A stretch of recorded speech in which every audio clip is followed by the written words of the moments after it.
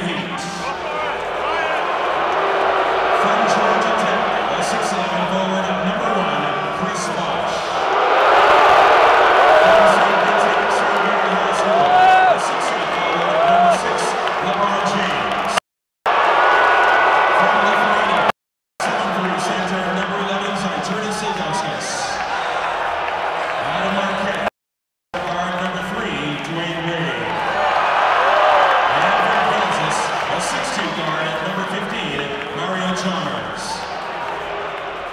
gentlemen, the head coach of the Miami Heat is Eric Spoelstra.